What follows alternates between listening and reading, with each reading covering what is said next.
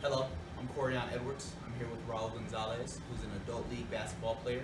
Today he's going to be performing the Davies test, which is also known as the closed kinetic chain upper extremity stability test.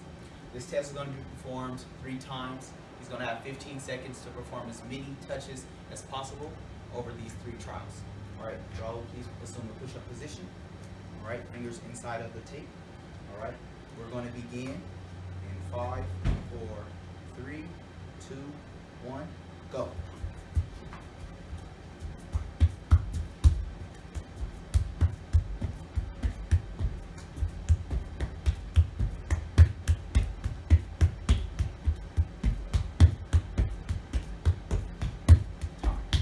All right, this is trial number two.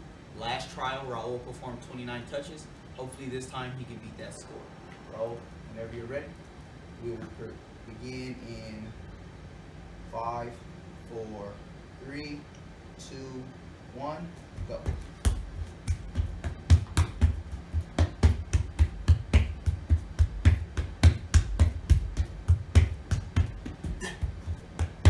Come on, keep it up. Time. Okay, this is trial number three.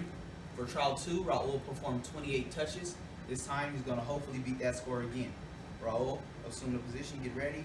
We're gonna start in three, two, one.